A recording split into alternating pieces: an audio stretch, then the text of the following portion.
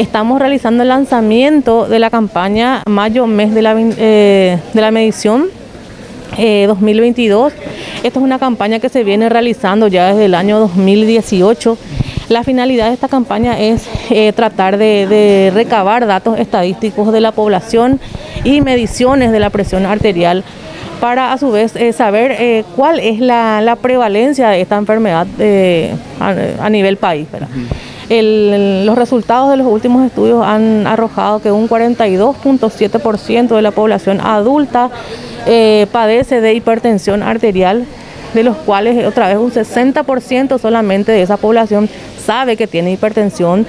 Eh, por eso eh, también un número importante de personas desconoce que tiene hipertensión arterial y de las personas que sabe que tiene, otra vez solamente la mitad se trata y sigue las indicaciones del médico. Entonces, eh, de ahí la importancia de saber nuestros valores, de acudir a las consultas en el caso de que tengamos hipertensión arterial y si no sabemos también acudir para saber eh, cuál es nuestra situación de salud. Ahora, eh, es muy importante esto porque la mayoría de las personas no se realizan estos tipos de, controles que deberían ser prácticamente rutinarios. ¿no? Exactamente justamente estamos haciendo nosotros, porque esta, esta campaña también se acompaña de una pequeña encuesta en el cual eh, buscamos saber un poquitito más sobre el paciente, si sabe que tiene hipertensión, si se controla la presión y si sabe que tiene, si toma medicamentos y cuál es el motivo por el cual no esté tomando.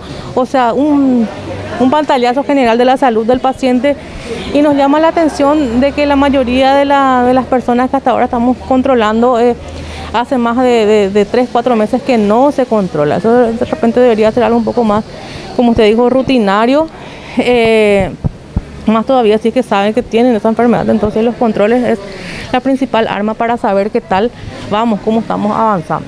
Teniendo en cuenta también que la hipertensión es las enfermedades de, con causas cardiovasculares es la principal causa de muerte a nivel país, entonces de ahí la importancia un poquito de prevenir esos valores muy altos.